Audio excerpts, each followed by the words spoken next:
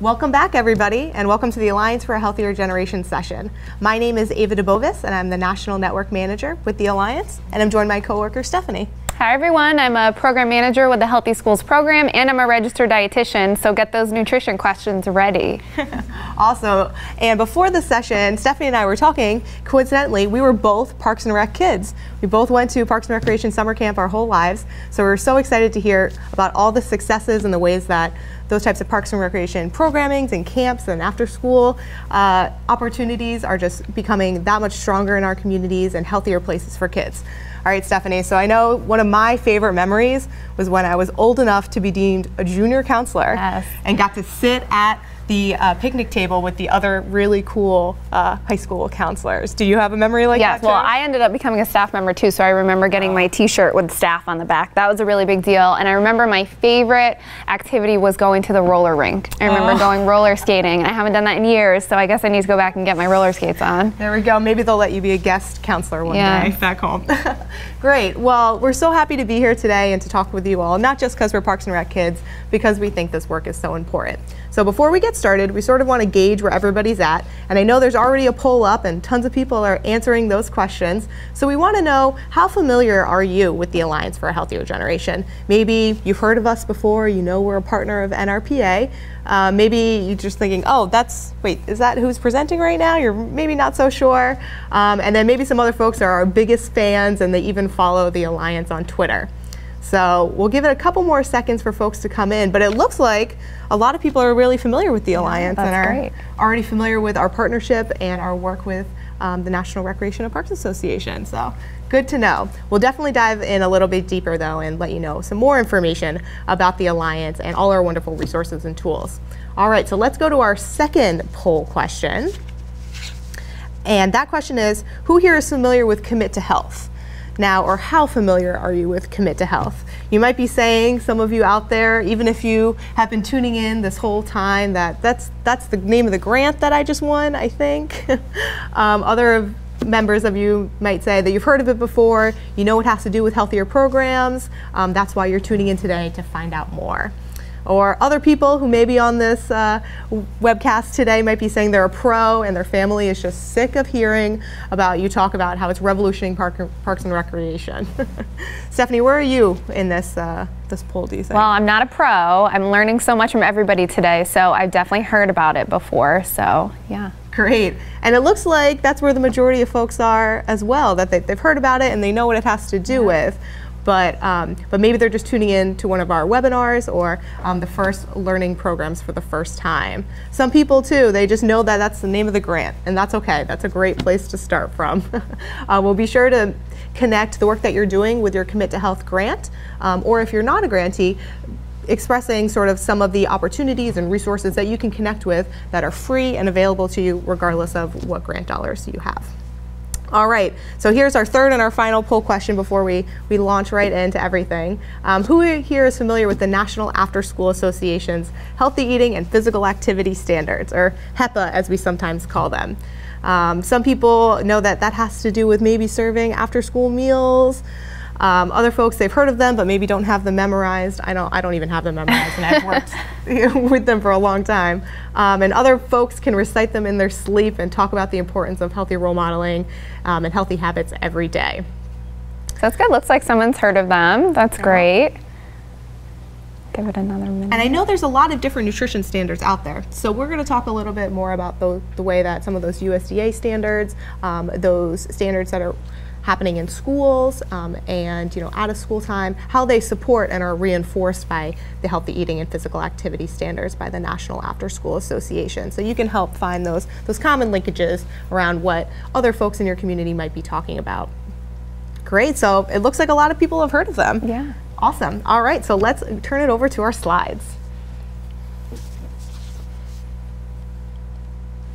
Great. So the Alliance for Healthier Generation, um, we want to make sure that we are providing opportunities, resources, tools, staff like ourselves um, to members in the community across the country. We're probably best known for our Healthy Schools program, um, but we also work with healthy out of school time, so before school, after school, summer camps. Um, we work in juvenile justice facilities, and we work directly with the food and beverage industry in helping to implement um, new recipes, um, offerings, and um, new types of products that help meet the different standards that uh, we work with schools and out of school time to implement. So before we get started though, and here at the Alliance, we don't just want to talk about healthy eating and physical activity. We also want to walk that, walk that talk and talk that walk. So before we get started, I know you guys have been listening for a while. We're just going to take a couple seconds and we're to stretch maybe up to the ceiling. Oh, you can do this right when you're sitting at your conference tables. Maybe stretch over to the right. Oh, make sure not to poke anybody. Stretch over to the left. Again, don't poke anybody, but maybe stretch forward. Oh, I know we're all sitting at computers. Roll out those shoulders. Maybe you want to just stand up a second, shake everything out. Oh, Stephanie's shaking along with me. And maybe last but not least, we're going to, oh, stretch our feet out in front of us. You can do this sitting at your office chair, sitting at a picnic table. Make sure you roll those ankles around. And maybe let's just take two deep breaths. All right. That was great. And I love to see sites that actually do this with their staff during staff meetings. Mm-hmm. So that's something great that you can do during your staff meetings, not just physical activity with the kids, but we also want to be doing stretching and movement in our long staff meetings where we're sitting. Exactly. Just like kids, we learn better as adults when we get a little physical activity. So you guys have already participated um, in our different three different polls that we just did, um, but we will ask you to please continue to interact with us via the chat box and the questions. Um, feel like you can ask us at any time your questions and we'll make sure to get to them either at that exact time or by the end. Don't don't worry, we'll get to them. um, and also, we're all adults here, so make sure to take care of your needs. Allison already mentioned during the last break, make sure your, uh, your water bottles are filled up, that you're staying hydrated, you're taking a little break if, if you're getting too stagnant. So, let's get started. Um, make sure to interact with the Alliance and NRPA on social media. We love Twitter. We can answer your questions via Twitter as well. Just tag it at NRPA, at HealthierGen, or hashtag commit to health. So we've already um, talked a little bit about the Alliance's partnership with the National Recreation and Parks Association, but just as a little bit of a refresh, um, NRPA has partnered with the Partnership for a Healthier America and the Alliance for a Healthier Generation to implement Commit to Health. Commit to Health is the national movement that looks to implement the National After School Association's healthy eating and physical activity standards in before school, after school, and summer camp programs in parks and recreation agencies across the country. Um, just as a little bit of background as sort of where these uh, standards came from, in 2009, um, a national group of out of school time program providers, researchers, advocates came together to form the Healthy Out of School Time Coalition. In 2010, thanks in part to funding by the Robert Wood Johnson Foundation, that group was able to brainstorm um, and develop the healthy eating and physical activity standards and best practices. Those standards and best practices in 2011 were then adopted by the National After School Association. So that sort of flash forward now to 2017. Um, in addition to the National Recreation and Parks Association, Boys and Girls Club of America, and the Y of the USA have also made national commitments to implement sets of these standards um, across their membership networks and their programs. So this work that we're talking about with Parks and Rec doesn't just have to do with Parks and Recreation, but really the youth development and programming world as a whole. So no matter where kids go to camp, where they go to after school programs, where they go to school, that they're getting the same really high quality opportunities um, for healthy eating and physical activity. So again, just the Healthy Out of School Time initiative at the Alliance for a Healthier Generation. Um, we help provide out of school time programs across the country with those evidence-based professional development processes, tools, and resources in order to increase children's access to healthier foods and physical activity.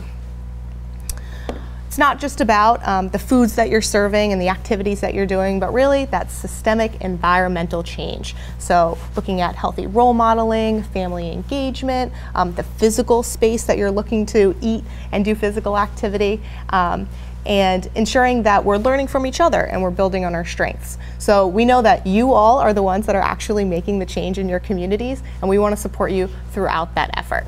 So you can learn more about the standards, um, the tools and resources that we're about to talk about at host, H-O-S-T, healthiergeneration.org. We'll walk through the website in a little bit towards the end, but I wanted to make sure you had that information before we get going. So um, you might be sitting here asking, okay, Ava, this is like so much information and so much background and I don't need a research paper, but what exactly are these standards exactly? So we're going to take a couple minutes. Stephanie's going to walk us through some of the healthy eating priority areas, the physical activity priority areas, and the family and youth engagement priority areas. So let's do it. Take it away, Stephanie. All right, so let's kick it off with exploring some of the Commit to Health physical activity standards. We're going to go through them. You've got them on your PowerPoint screen.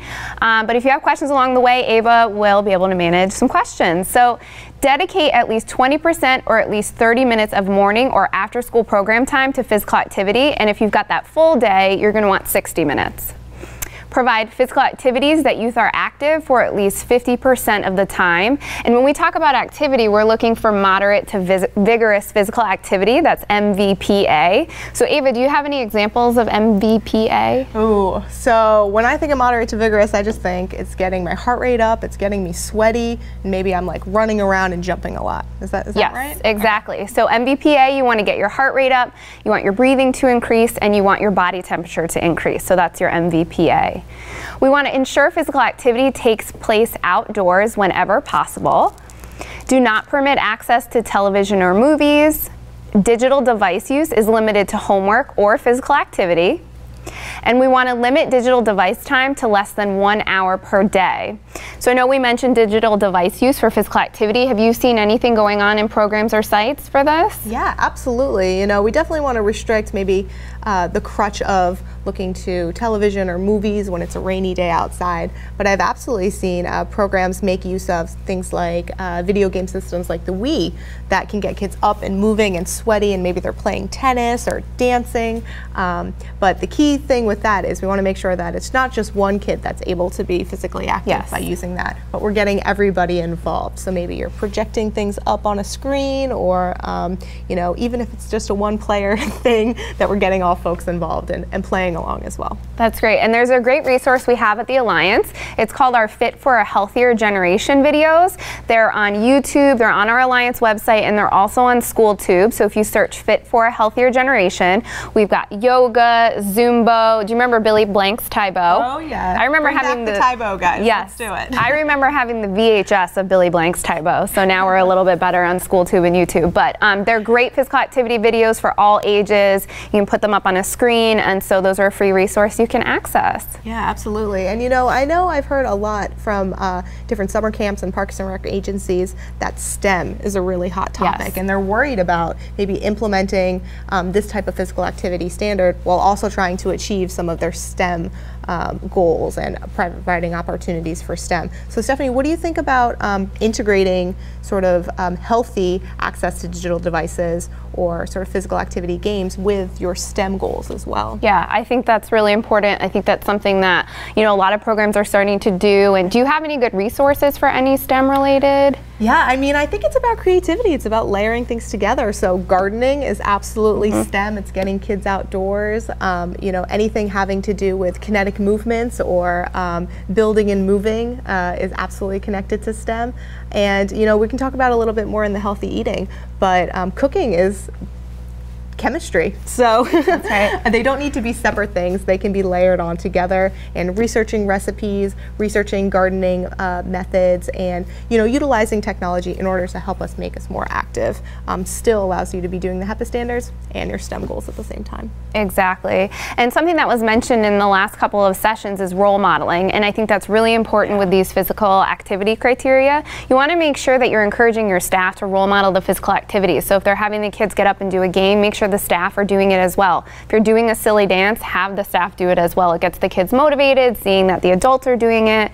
So that's a great thing we want to focus on. Yeah, absolutely. So if anybody has any questions about the physical activity standards in particular, um, we can take them at this time. But Stephanie, what do you think is the most common um, question that folks have when it when it comes to the challenges of being outdoors whenever possible. Yeah, I mean, weather can be an issue. I know when I was working in California schools, it wasn't as much as an issue. And when I moved to the East Coast, you know, then we recognize yeah. the cold weather and things. So it's really having some ideas in your back pocket for physical activity when you're inside. Um, so thinking about really having a plan for those rainy days and having policies right. around kind of inclement weather and making sure that your staff understands maybe when it's not safe to bring the kids outside temperature wise uh, things like that. Absolutely, it's clarity. Maybe what's really hot for me or what's really hot for the kids might be what's really hot for a parent. So um, being really clear, maybe having that really clear policy about what exactly, whenever possible, what does that even mean? Is there a specific temperature um, guideline, a humidity guideline, um, maybe safety alert guidelines if you're in a more urban area, um, but just you know that clarity so that parents can send their kids prepared too with a with maybe a rain jacket if it's going to be a little misty, but you can Exactly. still go outside. And you also mentioned parents. I think when we're looking at our physical activity criteria, we want to think about how we can also get parents, guardians, families involved. So maybe doing some of those physical activities with the kids during drop off time, pickup time, encourage those families to get involved. You know, in the last session they mentioned you maybe get three or four families, that's a success. So definitely open it up so the physical activity is offered maybe when there's pickup and drop off. I love that idea. I would love to play uh, some maybe some running tag or something like that after a day of commuting. That's Yeah. for sure. yeah, exactly. Great. So um, we'll allow some additional physical activity questions to come in if you guys have any. But I think uh, we're going to move Yeah. on to the healthy eating. Yes. All right, so let's explore some of the Commit to Health healthy eating standards. We're going to start off serve a fruit or vegetable at every snack and meal. You know, we always want to try to get something that's fresh, but we want to highlight that frozen or canned is also acceptable. Um, so if it's something where maybe it's in the winter, you can't get certain produce, you can use your frozen or your canned. Oh, I love frozen blueberries. Those Oh like yeah, my favorite. Toss those in a smoothie. Yeah. Um, serve only foods with no artificial trans fats. So this can be a tricky one. How do you think you can find out if something has artificial trans fats? All right, so Stephanie, I know you're the registered dietitian, but for me, I think I just flip it over and look at the nutrition label, and, and there's something on the nutrition label, right? That says Yes. trans fats. Yep. So they'll on your nutrition label there is a trans fats section, and then there's also in your ingredient panel you can look to see if there's partially hydrogenated oils. Um, and sometimes with trans fats you're going to have foods that are maybe fried, uh, some of your bakery items, things with margarine in them. So that's a little bit of an easier way to look at that. You want to serve only whole grain rich products. So to figure out if your product is whole grain rich, you want to look at that label and see if it says whole grain as the first uh, ingredient. So that's whole wheat flour, whole grain oats. So again, make sure that's the first ingredient on there unless it's water. we want to serve only non-fat or reduced fat yogurt and cheese. Serve only lean meat, skinless poultry, seafood, and then don't forget those vegetarian protein sources, our legumes and beans, our eggs. You know, this can really help out if you've got any religious or cultural considerations. You can really turn to those vegetarian items.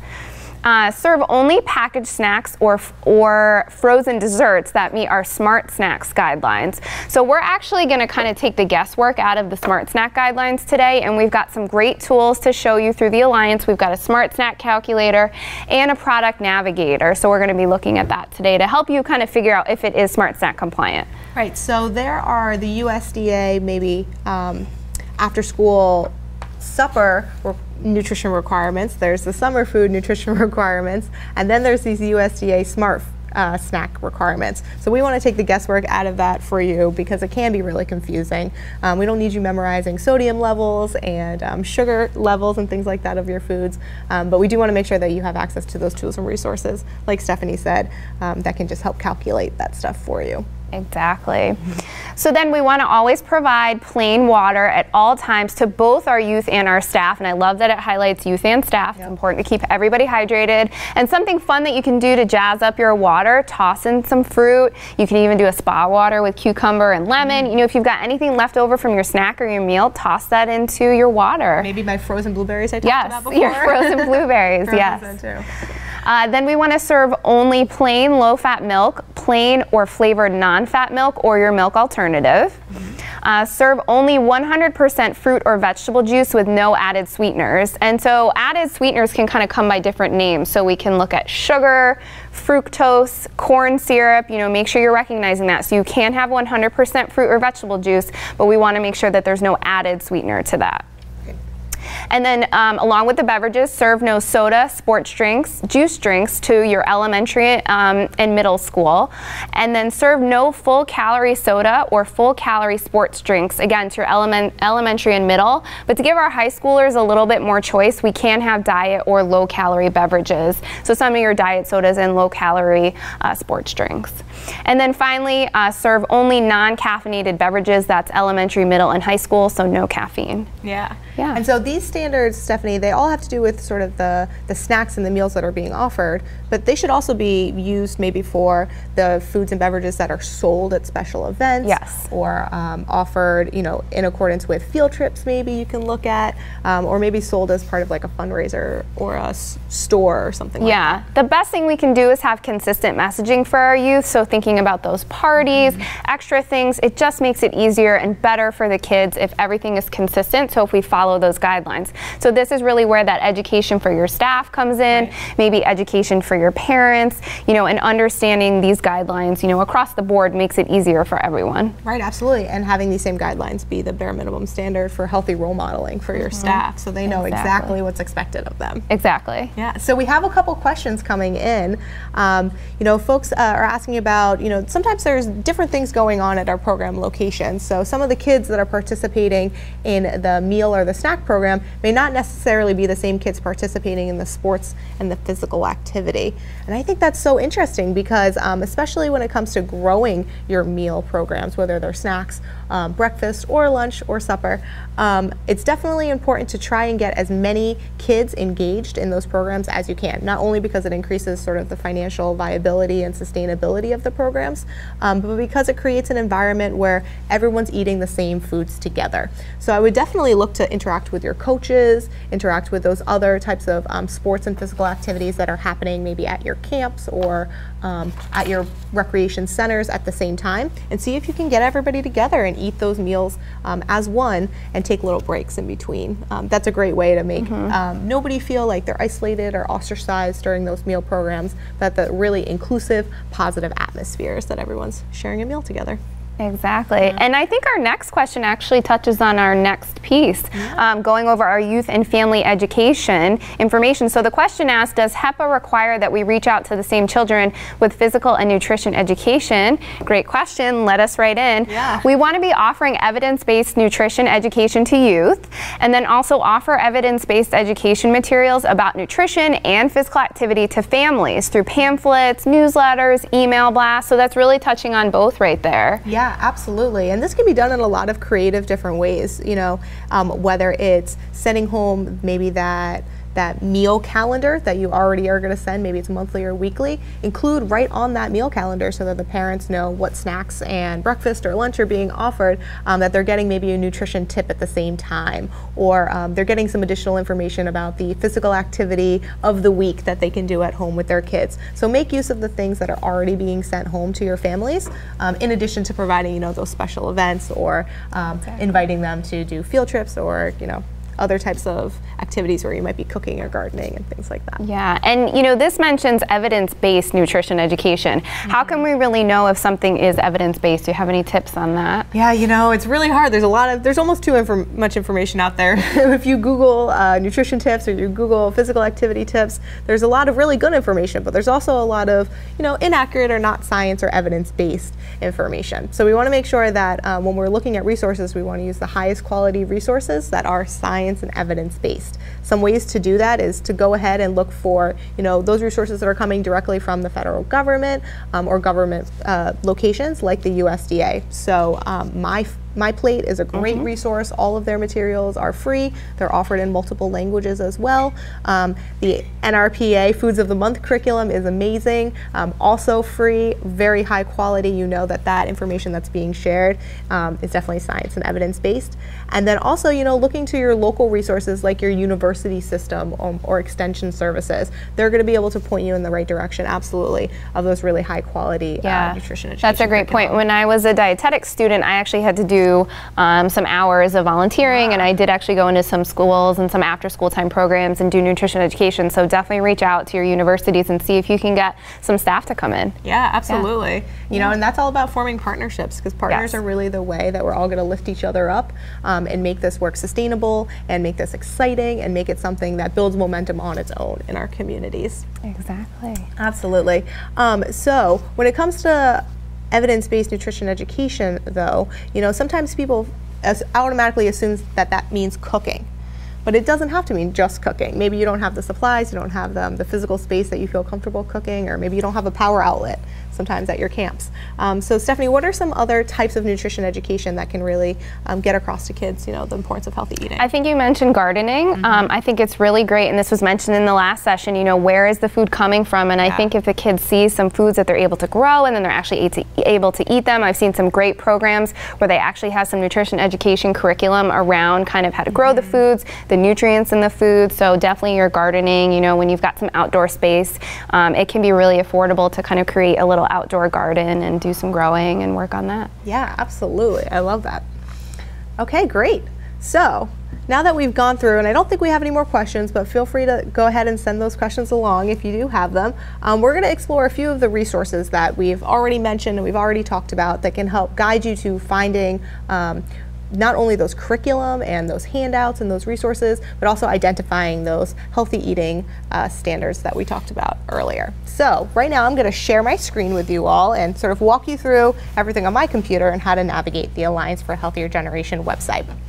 So if you have a personal device or a um, laptop handy, or if you're in a conference room and one person maybe has access to it, uh, feel free to navigate to host.healthiergeneration.org um, and you can walk through this website with us. All right.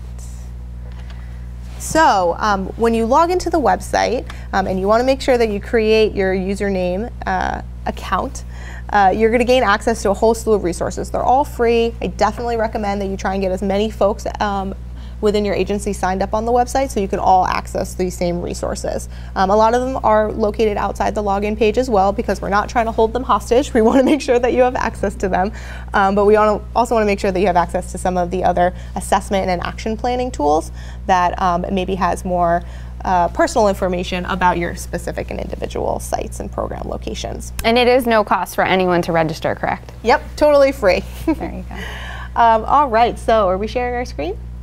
Yep, okay, great. So when you first log in, this is what um, the main homepage is gonna look like. You're able to navigate to your dashboard, which is gonna give you sort of a snapshot of what your current assessment results or your action plan um, results look like. So you see here that um, maybe we are doing a good amount of the snack meal and drink quality standards, but there's a couple that we can work on. Um, maybe we can work on some more staff training and some nutrition education. We look like we're in a really good place. So you can also see you have access to, on the left-hand side of the screen, the assessment tool, which you can take together with your staff. We have a, a paper version and an online version um, that'll help tell you which of the HEPA standards you're already doing at your program location, um, which ones that you could potentially work on in the next couple of years. You also see the action plan area. Now we definitely recommend that you don't try and do all the HEPA standards at once, so you don't try and implement them all overnight. Um, we want to work on small incremental changes that build on your current successes. So we advise that you look to three to five goals per year that specifically have to do with the HEPA standards. Now, um, we're going to explore probably today the most in the tools and resources area and our training opportunities. So in this tools and resources area, you can see you have access to the resource database, some more information about um, the continuous improvement six-step implementation process.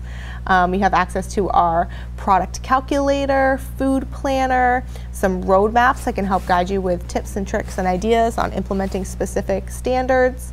Um, you can navigate to our training center, our Healthy Out of School Time blog, and then gain some more information um, about different terms that are being used in the HEPA standards, maybe that we're not so familiar with or we're not quite sure how they're being defined. And just to point out, if anyone's navigating this after the training and you get a little stuck, you have questions, there is a help button on the top right hand corner. Um, and down at the bottom where Ava just highlighted, there is a phone number that you can call, 1-888-KID-HLTH. And we have our amazing member engagement support team staff, Kayla and Nicole, who can answer questions, help with any technical difficulties. So yep, feel free great. to reach out. Um, okay, awesome. So first I wanted to show you our new and notable blog. So this is our Healthy Out of School Time blog. Um, it's managed by my coworker Daniel Hatcher, who some of you may know, and he's always on Twitter and interacting with folks, and he's the main author of a lot of these blogs. Um, but he tries to blog at least a couple times a week on really, you know, timely, topical things that may be going on. So you can see here that we have three steps you can take for healthy role modeling this summer. Um, some last minute prizes and raffle gifts because we know it's becoming the end of the school year and it's kind of pizza parties and recognition galore. So maybe some alternative tips and tricks um, for non-food based rewards that can still get kids really excited and feel really um, recognized and honored. Um, and then we have five ways to strengthen the heart of after school. Just last week was After School Professionals Awareness Week and Recognition Time. So um, right there, there were some really great ways that you can look at your staff recognition and your staff engagement, which we haven't even talked about employee wellness yet.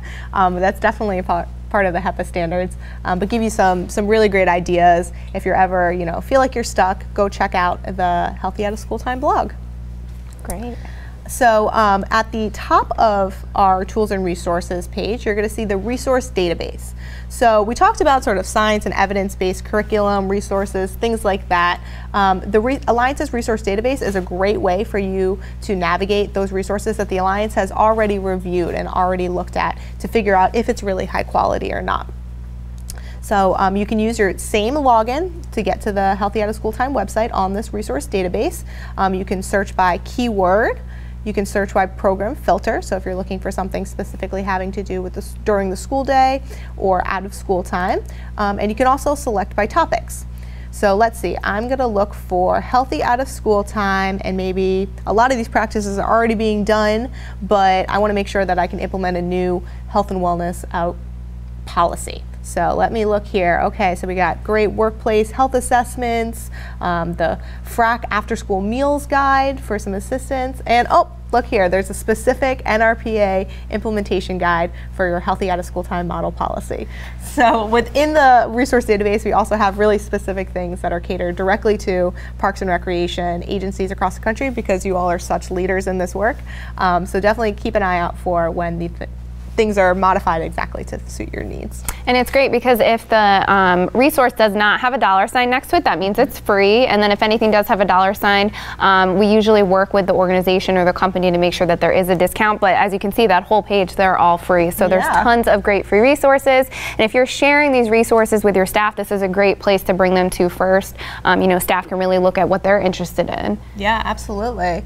Um, and every day we're adding more things to the resource database. So it's definitely something you want to to recheck in on, especially if you just need some new ideas or maybe you're just, you know, looking to do uh, some more activities with a different age group that yeah. you're not normally working with. Yeah. And we have a question. Yeah. Uh, when adding members through the dashboard, can they make changes to the action plan? That's a great question. Just curious on their abilities from the other end. Oh, that is a great question. So um, yes, you can absolutely add members through the dashboard. Um, you have the availability of uh, setting specific parameters for those members who you add. So you can add them as a team member to your account, which allows them access to make changes to the assessment, to update and make changes to the action plan. Maybe they can write some notes in or, or update sort of where you're at. But you can also um, have them listed just as a fan or a community member, and that allows them to see everything, but they can't actually make changes. So we definitely know and understand that you want to get your maybe seasonal staff or your part-time staff or your volunteer staff who might be coming from different partnerships to your site involved in this work and able to access all these wonderful resources, but maybe you want to limit how much control they have over um, your assessment and your action plan. So we do have the option for you yes. to select community member. Yes, great question, Margarita. And we do have staff staff that provide website walkthroughs. Mm -hmm. So um, at the end, we'll have Ava's information, and you can email her if you want to have a website walkthrough with your staff. We can do that. Yeah, absolutely. We can. We're always available. We have tons of staff, and we'll talk about them a little bit. Um, who are available to provide specific content expertise, um, website expertise to help you plan um, and customize trainings that you're looking to offer with amongst your staff or maybe in your community. Um, and also we have pre-recorded live on or pre-recorded on-demand and live trainings available in our resource database, which we are going to go to right now. Um, and it looks like somebody does have a quick question though. Are workbook activities available for students on your website? That is a good question. I haven't looked to see if there are workbooks. We can search keyword workbook. Let's see. And if not, we can definitely help you navigate them. Um, but there's a bunch of resources for the school for the school environment. So I'm going to go ahead and say all programs. Oh, there. Um, so, oh, look where we have culinary techniques, um, power up wellness programs, um, Wise Guys, which is part of Oregon Wise Guys. Um, so there's definitely some resources here that have sort of specific workbook yeah. activities. Yeah, and you can anything that's on here that's a PDF, you can print it, make copies. Mm -hmm it's yours to kind of disseminate. So Yeah, absolutely. All right, great. So, Stephanie, you're going to help walk me Yes. through this uh, training center, right? Yes, so this is our Alliance Training Center. This is one of our great newer resources. Um, we actually use this a lot internally as well for internal trainings. Um, I get assigned some some Yes. trainings sometimes I have to take. yeah. So we've got some great training. So we'll just show you on the left-hand side. We always have our featured trainings. Um, and so again, when you log into the Healthy Out of School Time website, you're going to want to click the Training Center button. And then on the left, we've got some featured training. So I'm going to just have Ava show you what it looks like. Why don't we uh, go ahead and look at Running Start? Or do you, oh, you know what? There, yeah, let's do Running Start. So when you click that, you'll um, get asked to launch the training. So you'll go ahead and you'll click launch. And then it's going to bring up a video. So this is really nice. You can do this as a group with your staff and kind of watch the trainings together, or you can assign trainings to your staff. So we do have a number of trainings that are geared towards our out of school time staff, um, and this is what they'll look like. Some of them are interactive. You can click kind of where you want to go. Um, but yeah, they're great. They're interactive. Some of them have some follow up materials. So definitely check those out. They're free. And if your um, staff are looking to maybe print a certificate, we do have the ability to have them print a certificate. And you can also go back and look at all the trainings you've seen uh, on your transcript, which Ava has up right now. So you can see everything. Um, especially, I think I think Stephanie just mentioned this that if you want to assign a training, maybe for your part-time staff, you want them to take maybe the nuts and bolts of nutrition label reading, or maybe it's just a cupcake, um, non-food alternatives that they can utilize in their programs. You can have them actually, you can assign it to them, you can have them actually partake in it, um, and then have sort of that certification, which can be really helpful if you have to onboard staff, um, maybe seasonally, and you only have so much time with them to do your orientation. Um, you can have assign them some homework out of out of that specific orientation time that they can, uh, you know, be that much stronger youth development professionals. Exactly. And it looks like we have a question from Marilyn. She's asking since we do have so many sites, do we have to apply the program to all sites or do we just choose some sites? That's a good question. You know, from my perspective, we see a lot of sites are so different. You know, you've got different youth, different staff, different needs. I recommend doing um, an assessment and using their resources separately for each site. But Ava, do you have any? Yeah, I mean, especially as it comes to parks and recreation, um, that sometimes you'll have a, a specific community center that you might have an after school program going on, you might have a maybe um, adaptable program going on, you might have a um, maybe early child care, daycare type program going on, and then maybe some adult sports leagues or something like that, all happening at the same time. So you want to make sure that when you're looking at your program locations, that you're considering all the programs um, that interact with and affect youth. And maybe for your first couple years, you kind of want to ramp up and start off slow. Um, but I think that the the Healthy Out of School Time Assessment is a great tool to help recreation centers that have lots of things going on um, have common language and work together to make sure that there's consistent messaging around healthy eating and physical activity, no matter what programs youth are coming to partake in when they come to your um, after school program site or your rec centers. Also, um, when it comes to sort of what Stephanie was saying, that maybe as an agency, you have lots of different program locations. You have park sites, you have rec sites, you have community center, maybe you have a pool site um, going on in the summer. Uh, you want to make sure that you're really looking at your agency as a whole system. So ensuring that when kids go to the pool to do programming or they go to the rec center to do programming, are they getting the same consistent messaging across the board? Are they being exposed to the same really high quality environmental influencers um, to encourage those healthy behaviors? So you can again start to ramp up and maybe start off at only a few sites, but we definitely recommend that you try and get as many sites registered on the website and as many sites engaged in this work as you can, even if they're coming at it from sort of different places. Um, that only is able to communicate to NRPA um, that your work that you're doing across your agency is touching so many different locations and so many different program sites. Yeah. Right. So, um, so I just want to show you one more training that we just got added to the uh, the training database, and that's before, during, and after school physical activity. So this is a brand new training. I haven't even taken it yet. I'm really excited to take it later on today. Um, that has to do with new ideas about incorporating physical activity into everything you're doing, whether that's arts and crafts time, whether that's before mealtime, or um, you know just generally getting staff involved with physical activity as well. And I love that our trainings usually are about 10 to 30 minutes. This is a 20 minute training, so that's an easy 20 minutes you can do. Uh, We don't want you sitting too long. Yes. All right, so um, I think it's time for us to look at our smart food planner. right? So this is my favorite resource at the Alliance for nutrition. Um, I know the Smart Food Planner was a labor of love for our content advisors that work um, with on schools with and out of school times for nutrition. Um, this is something that schools and out of school time sites can use. So we're going to show you kind of some great ways that, again, as I mentioned before, this is going to take the guesswork out of the nutrition piece. So. First, I want to um, have us look at the product section of the Smart Food Planner. So this is great. We're able to really kind of uh, filter through all of these products are compliant with the HEPA standards and they're compliant with your USDA school meal standards. So we're going to have Ava. Ava's looking up some carrot products. You can see on the left hand side, you can search by your keyword, you can search by category, um, and then you can also put in that you want to make sure that it is Smart Snack compliant only. So she highlighted yes. So Ava searched carrots and we've got nine carrot products that you'll see will come up. So that's an easy way that you can go ahead if you're looking for items to purchase. These are items that both can be purchased through your vendor or if you're a programmer or a site that shops at a big box store. So if you are Costco, you're Sam's Club, some of these items you can also find at your big box stores. so, I see here a little, that there's a SKU code. Yes. What is that? So that SKU, that's the code where if you go to your store, you go to your vendor, that's the code you can give them so they can order that item. Um, and you'll see that every item, there's a picture, there's a description, um, and it also shows on the right hand side if it is a Smart Snack compliant item. And um, if you're interested in saving certain items, up in the right hand corner, Ava, we've got save to list. You can actually create some lists. So maybe you want something for your full day program or you want something just for your after school program. You can create some different lists for each of your sites if you're working at multiple sites. Yeah. Or maybe create that shopping list for the staff Yes. has to go Yeah. and I do want to highlight this does work on an iPad, an iPhone. So if you're out buying certain things, it's mobile. It's a great uh, tool that we can use uh, out in the field.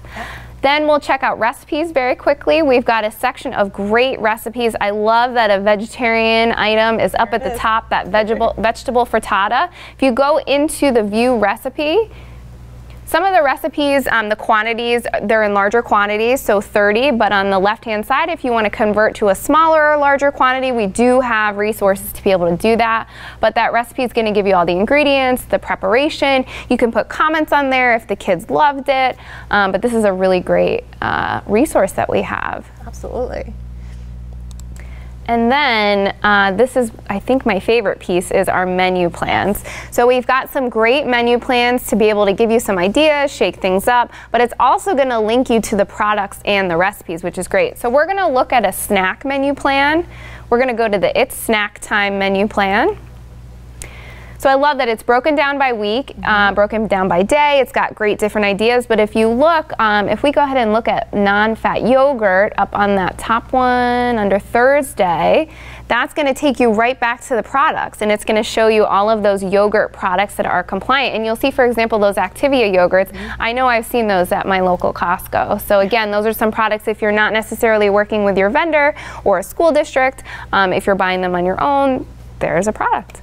Absolutely. And if you're just starting to work with your school district, or maybe your school district has not um, been involved in after school snacks or not been involved in summer food before, these uh, menus, they're not just utilized by out of school time professionals. So you can print it off, you can give it to your school district and say, here's a place that we can start from, or here's some modifications that we know we can make from this standard menu that we know is going to be HEPA compliant and help promote um, healthy eating across our kids. Exactly, exactly. So if you'll see there um, under Friday, we've got that bean, black bean and corn salad. If you go ahead and click that, that's going to take you to one of the recipes. And we've got some good celebrity recipes. Oh, this Rachael is uh, one of our Rachael Ray recipes. Some of the kids get excited.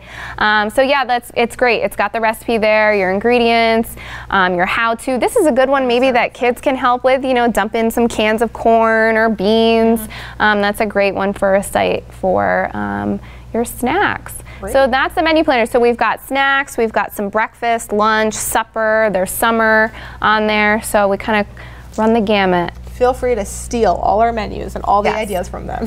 And if you have any great recipes you're using at your sites, please feel free to send them along to Ava. We'd love to get them on here. yep, we can submit recipes anytime, especially ones that you have uh, time tested with your kids. Um, and the last piece we're going to show you is our awesome product calculator. So, you know, you keep hearing smart snacks, smart snacks. So, if you're not sure if you're smart snack compliant, one thing you can do is if you're connected to a school district, your food service director, your dietitian at the um, at their program can help you uh, make sure that it is smart snack compliant. But if you're at the store purchasing something or you want to know if something that someone's brought in is smart snack compliant, you go ahead and use our calculator. So, we're going to pretend that we have a granola bar that we're going to put in. So, granola bar, that product is going to be a snack. And then we're going to go ahead and click next step. So if you notice there's those little I buttons in the blue, those are actually going to explain um, what that means. So whole grain, again, that must contain at least 50% or more whole grain. Um, we talked about whole grain. So let's say that our granola bar does have whole grain oats as the first ingredient. So we're going to click that. Then we're going to enter some nutrition info. And again, you're just going to flip over your product and fill it right in from the back of that. So we're going to say the serving size is two ounces. It's one per container. We're going to say this is 120 calories, one gram of fat, zero saturated fat. Ava, what do we want in that trans fat? Oh, I want it to be zero. Yes, we need a zero there. Sodium, let's say 10. Sugars, let's say one.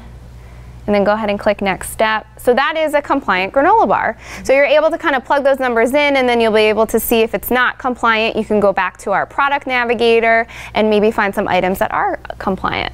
Great. And this is just such a useful tool, not just for the staff that might be planning, but also maybe if you have teens who are involved and they're looking to work on a service project or work on a entrepreneurial project.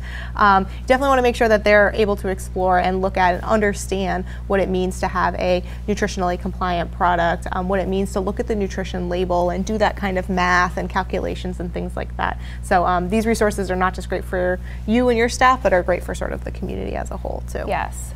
And you know, get your kids using that calculator. That's a great tool that kids can use if it's on the phone or on the iPad. You know, you've got that one hour that you can use devices. Maybe get them using it, make a game out of it. Um, you know, get the kids on this website and tooling around as well. Yeah, maybe a little scavenger hunt or something. Yeah. Great. Well, like we said, these are tools and resources that are available to any of your um, staff, to any of your community members. So let us know if you have any questions about them or if you're looking for something specific that's not in one of these tools or resources. We want to make sure that they are serving your needs absolutely. So we're going to go back to the slides now and st- uh, stop looking at the screen. Uh, and again, that is the location of the food planner we were just looking at, foodplanner.healthiergeneration.org.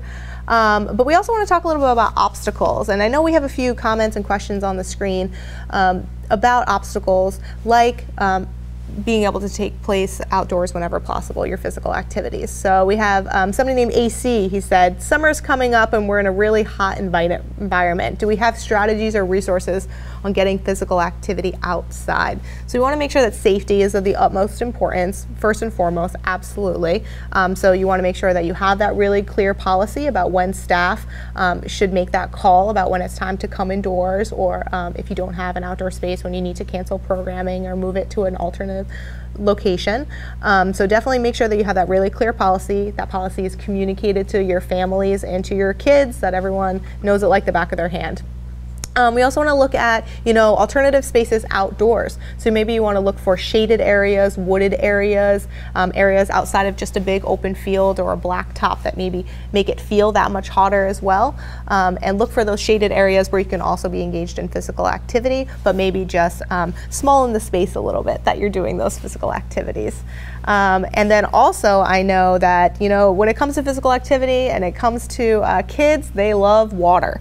So any times that you can get water involved in your physical activity, whether that's uh, water tag or that's uh, water obstacle courses and race courses, that's a great way to sort of shield a little bit of the heat from your kids. Just make sure that you um, have sunscreen out there, that you're you're recovering them after they get drenched in water. And a lot of times, as long as you communicate to parents and families that you're going to be having a water activity day and your kids might get a little bit wet, they know to send them in clothes that uh, they don't want them to be ruined or you know get wet temporarily, even though they'll probably dry off.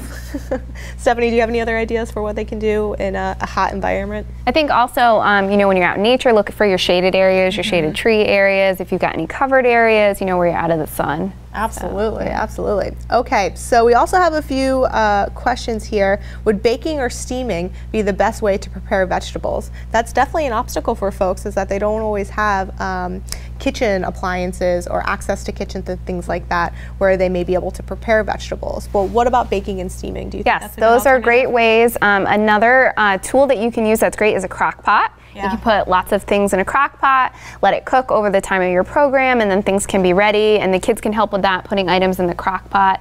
Um, also, looking at your blender. Um, I love making smoothies at home with spinach, and so you can make a green monster smoothie. Get the kids to try that. Um, and it's also about educating the kids about the fruits and vegetables they're eating. I remember in Southern California, I was working with a district that was doing some farm to school. They got sugar snap peas.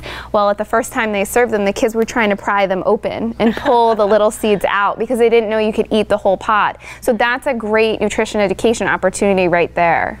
Yeah, absolutely. And you know, it- when it comes to what's the best, healthiest way to prepare foods, you know, baking, steaming, roasting is absolutely, they're great. Eating them raw is really wonderful too. Um, you know, boiling, making a soup out of them. So definitely go and check out our recipes. Um, you might be surprised in ways that you can make an, a vegetable healthy, um, but still having some, some fun and familiar cooking uh, techniques with those.